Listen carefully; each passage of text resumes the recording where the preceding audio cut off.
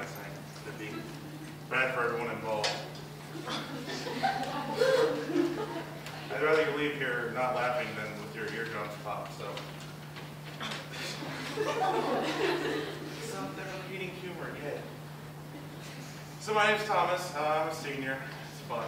I'm a big guy, as you can probably tell. Six seven, I mean, it's pounds.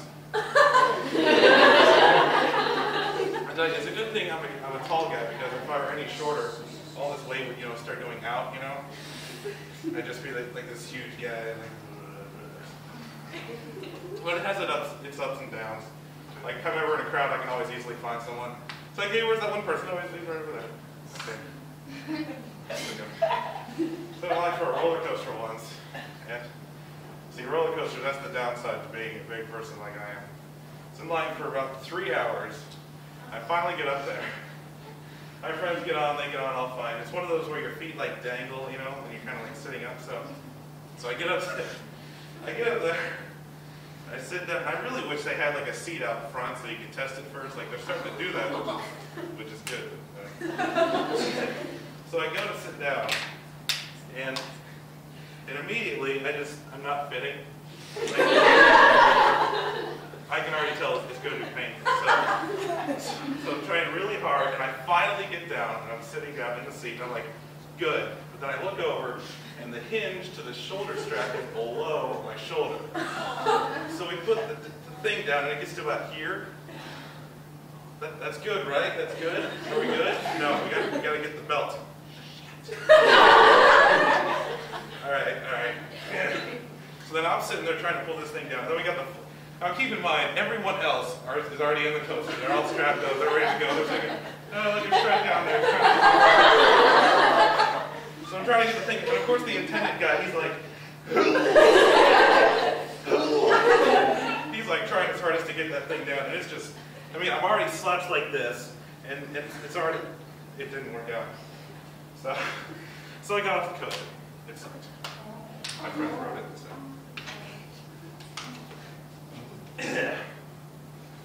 I gotta catch my breath. Whew.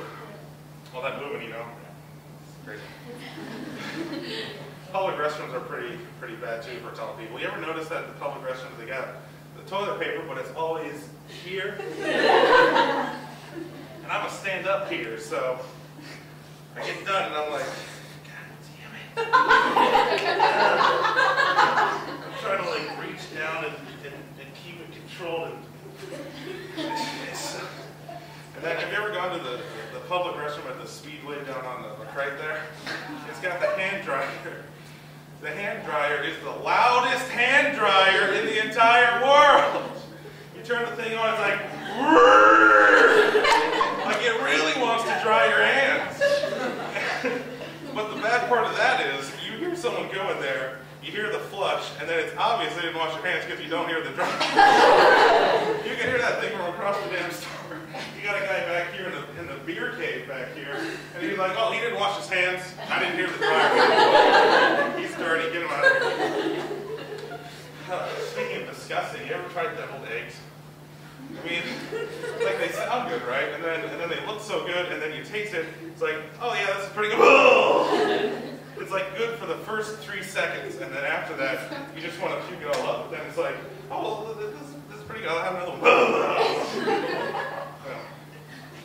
I should try and improve those. Have you ever to do an improved? Is the improved really necessary?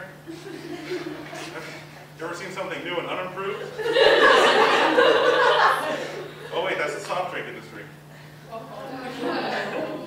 Pepsi's always getting out new Pepsis, but it's just the same thing. Like, have you seen Invention of Lying that one guy's talking about? It's like, it's just brown sugar water. Been the same for 57 years. Haven't changed a single thing.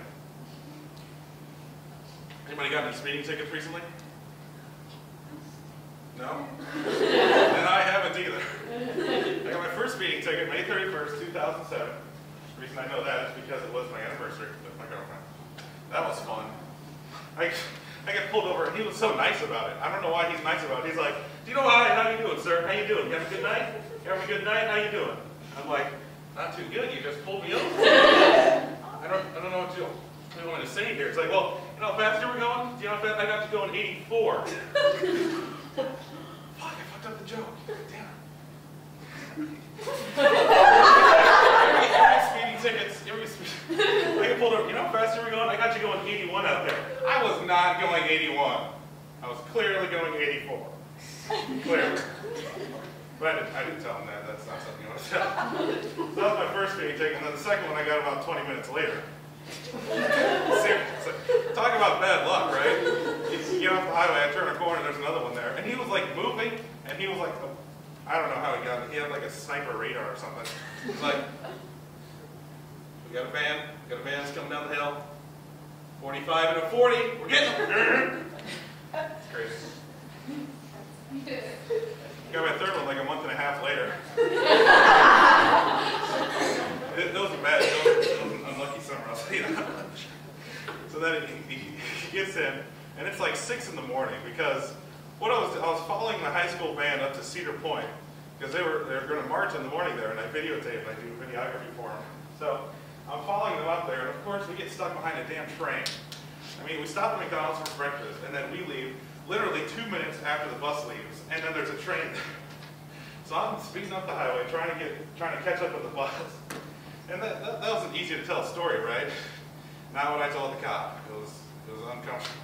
It's like, why were you going so fast? You're gonna hurry? Like he, that's how he started. He said, "You're gonna hurry," and my friends are sleeping in the back, and they're like, "Who is that?" So he said, "You're gonna hurry," and I'm like, "Well, yeah, I was, I was, I was following some friends up, up to, up to Sandusky, and, and they, they went fast, and then I was going fast. And I was, I was trying to catch up because I'm lost. I started looking around. I started looking around to make sure he knew I was lost. I'm lost. I have no idea where I am. It, this isn't even my car. I no one made it work. But then cops, they make you scared of Crown Victorias, you know? Car that all the cops drive. So every time you see a white Crown Vic, you start freaking out. What I want to do is I want to get a white Crown Vic and then put just some kind of bar on the top of it, just so when someone sees you in the rearview mirror, you see something up there on top of a white Crown Vic and they start freaking out. That would be funny. just like speed past people doing that.